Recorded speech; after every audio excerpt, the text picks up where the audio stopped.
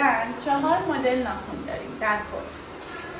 که هر کدوم از ناخونامون دو تا نقطه خروجی دارن. ببینید ما از این چهار حالت اصلا خارج نمیشه و ما اولین چیزی که رو نسل فرملمون نگاه می‌کنیم نقطه های خروجی مونه ببینید دو تا نقطه خروجی. و لبه آزاد ناخونمون در یک راستا هستن مدل اول. توی هر مدلی که میریم جلو این نقطه خروج پایین تر میره. اینم مدل چهارمه. برای نصب فرمرش برای مدل اولمون که نقطه خروج لبه آزاد خون تو یک راستا هستن فرمر رو بدون هیچ برشی نصب می‌کنیم. توی فرمر های مدل های دوم، سوم و چهارممون هر کدوم برش فرمر داریم. برای مدل دوممون یک خونه برای مدل سوممون دو خونه و برای مدل چهارم سه خونه. که داشتیم؟ ببینید نقطه خروج من الان اینجاست و اینجا. یعنی قشنگ اینجا. ببینید هلال لبه آزاد ناخون من زیاده و حدودا مشابه شماره سوم ماست.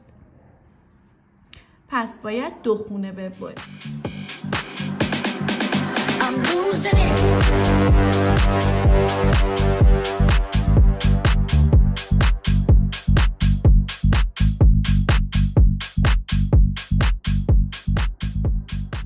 دو خونه یعنی چی؟ هر یه دونه از این مربع ها میشه یک خونه.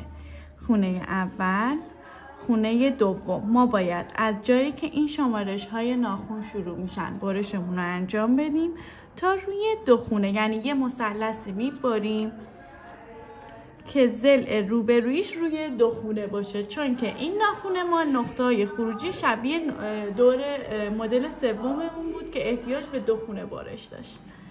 حالا میام از اینجا. دو خونه.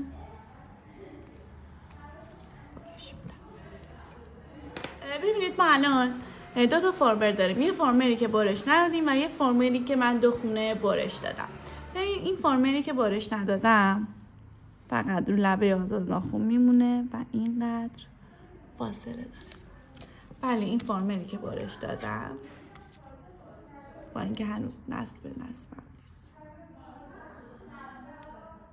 خب الان من فرمرم رو نصب کردم و روی نقطه های خروجم رو دو تا برش دادم.